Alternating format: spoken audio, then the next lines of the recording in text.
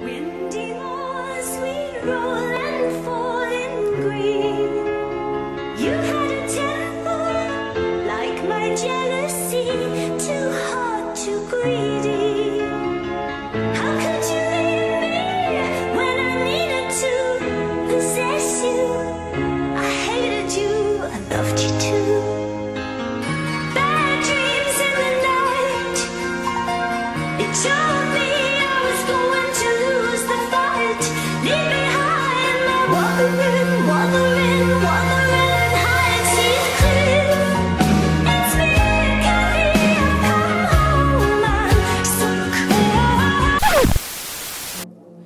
J'ai vu des femmes installées dans leur vie professionnelle, leur vie de mère, leur vie d'épouse, et dont la vie bascule à l'issue d'une longue occultation avec l'émergence soudaine, parfois brutale, de souvenirs enfouis qui redeviennent brûlants.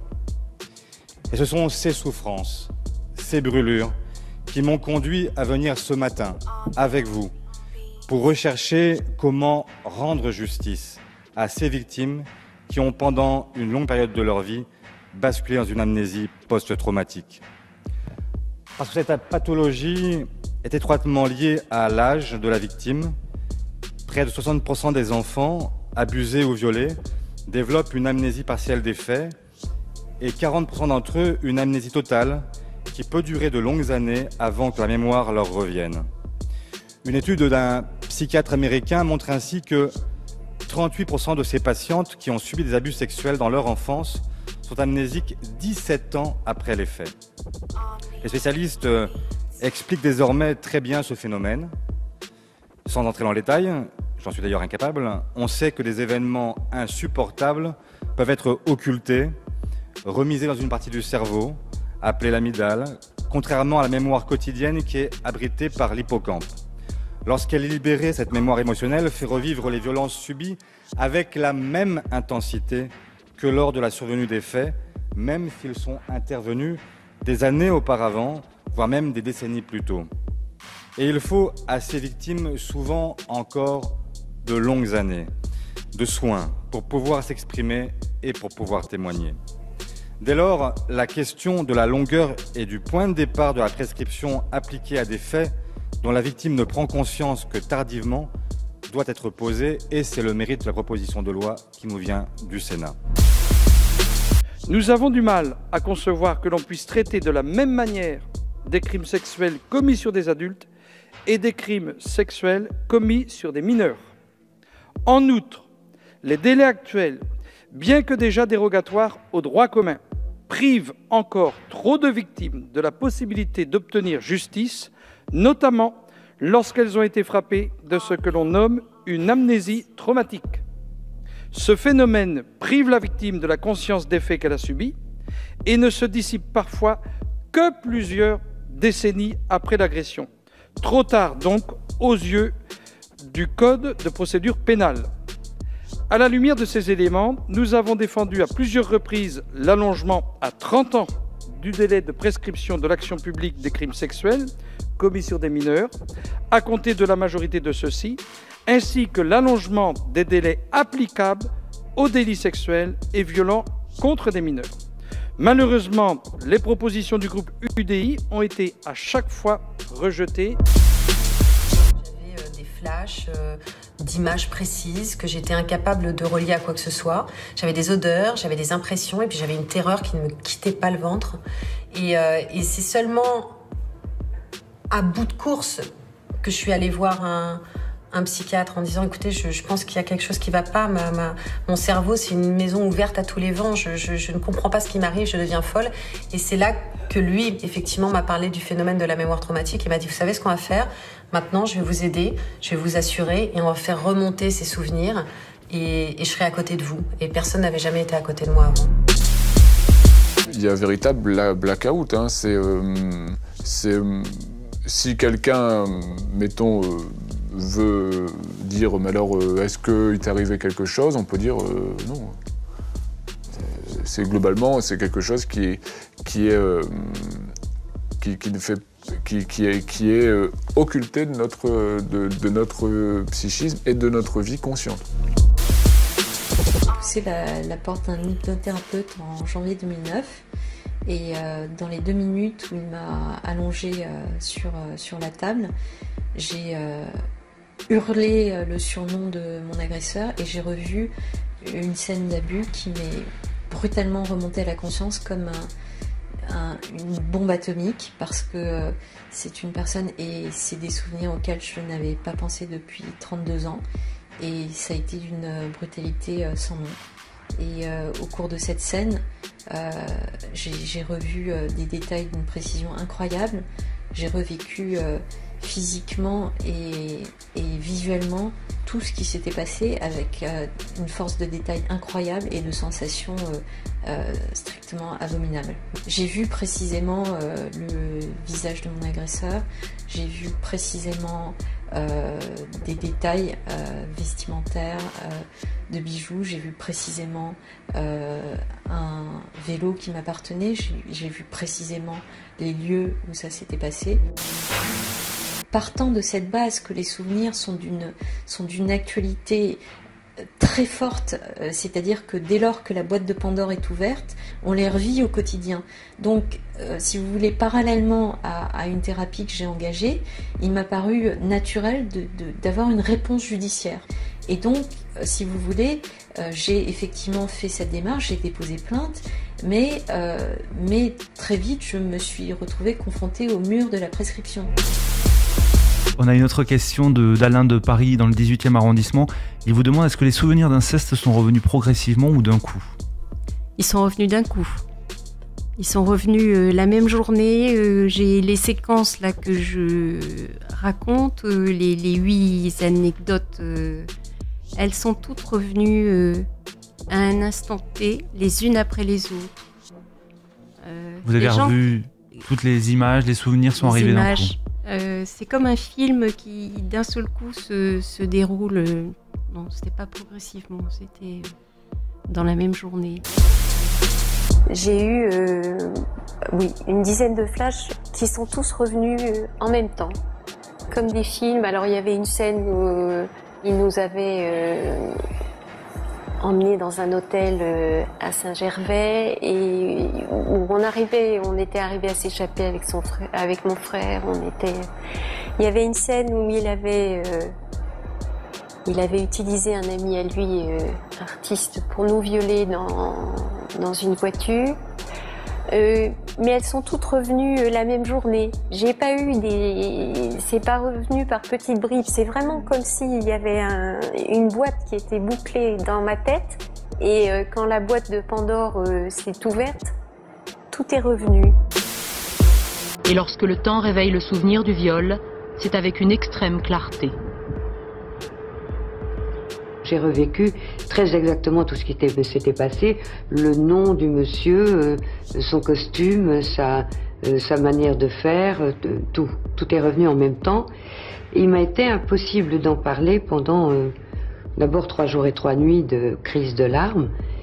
Mais après, très difficilement, j'arrivais à, à donner des bribes. C'est un fait que j'ai reçu euh, en pleine figure. Vous ne, vous ne pouvez en aucun cas le confondre avec autre chose, ni avec une prémonition, ni avec un, un- une, une histoire euh, euh, de, de confusion mentale. Il ne s'agit pas de confusion mentale, au contraire, vous êtes d'une d'une excessive précision.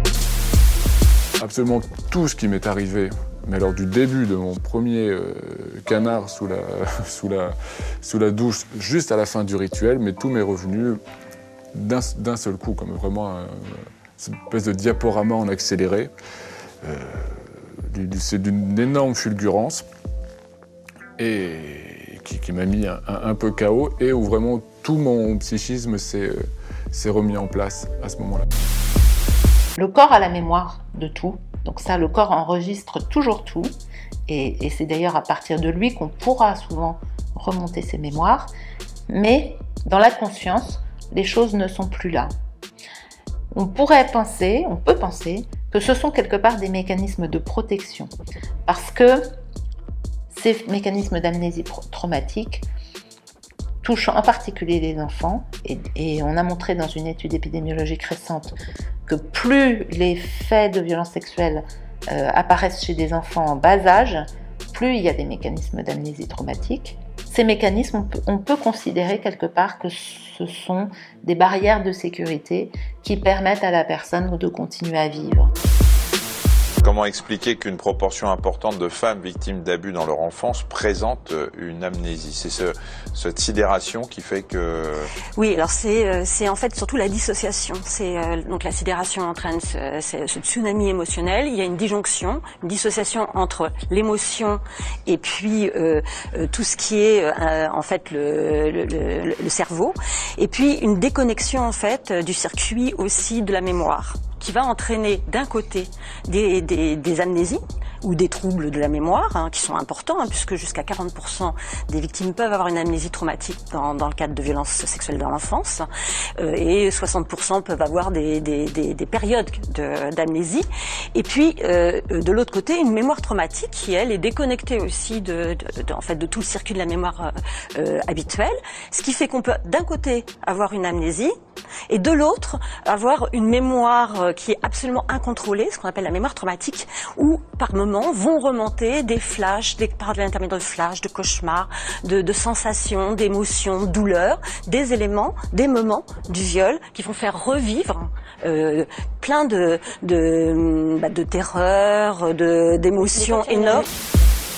Il se trouve que j'ai été euh, agressée sexuellement à l'âge de 12 ans par quelqu'un qui connaissait très bien ma famille, qui était euh, l'ami au-dessus de tout soupçon.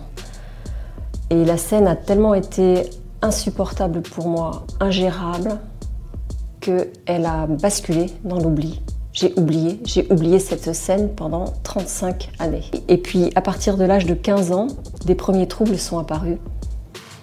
Dépression, tristesse, redépression, spasmophilie. Et puis à l'âge de 20 ans, euh, dépression nerveuse beaucoup plus grave. Là, cette fois-ci, on m'a soigné antidépresseurs, tranquillisants, euphorisants, enfin, toute la panoplie euh, chimique. Tentative de suicide. Et puis, devant l'état de mal-être général, j'ai commencé une, une, psychothérapie en thérapie de la parole, psychanalyse, qui a duré euh, des années mon, psychanalyste, psychiatre et psychanalyste m'a dit il y a quelque chose dans votre histoire affective qui ne s'explique pas. Mais si les souvenirs ne remontent pas, moi je ne peux rien pour vous. Et puis à un moment, je me suis dit, euh, vers 45 ans, je me dis non, moi je veux vraiment comprendre pourquoi j'ai tous ces, pourquoi j'ai tous ces accidents, toutes ces fractures. Et j'ai changé de métier, je me suis rapprochée du lieu où j'avais vécu lorsque j'étais enfant. Et là, par, euh, des circonstances absolument incroyables, euh, ça a vraiment été un concours de circonstances. La scène m'est revenue. Et ce qui est fou, c'est qu'elle était intacte dans ma mémoire. C'est-à-dire que je me souviens de tout.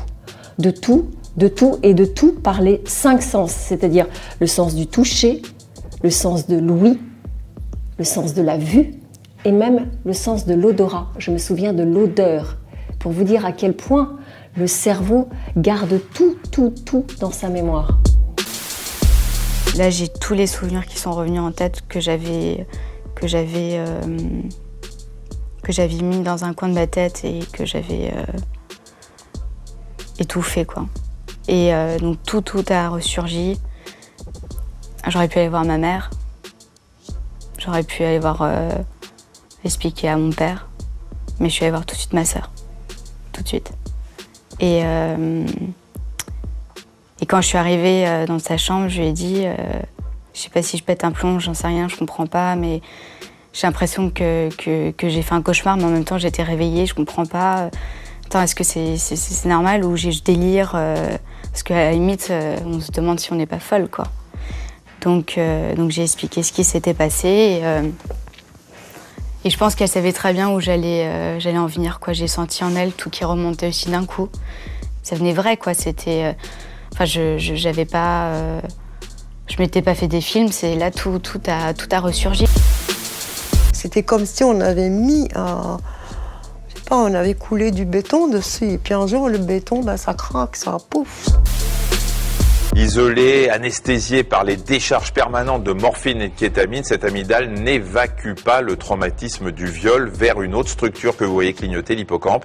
Cette structure, c'est notre système de mémorisation et d'analyse des souvenirs.